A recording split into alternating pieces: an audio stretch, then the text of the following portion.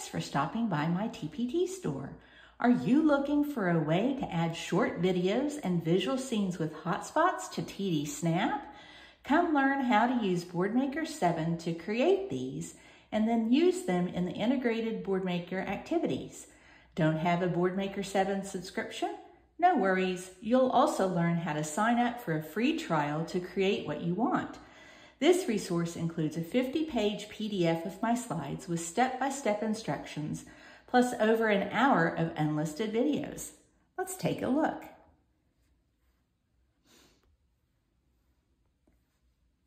So here's a visual scene with hotspots. Some I've created that have a border, some are invisible.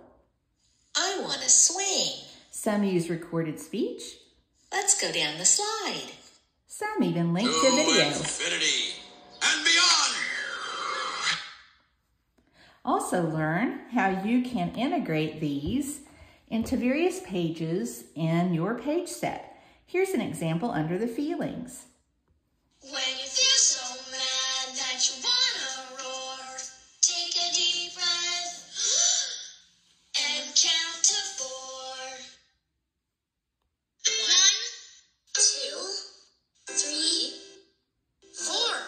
Also want to see the video to that? When you feel so mad that Learn how to incorporate these for a variety of purposes to help your users use short video clips for communication, things like self-regulation.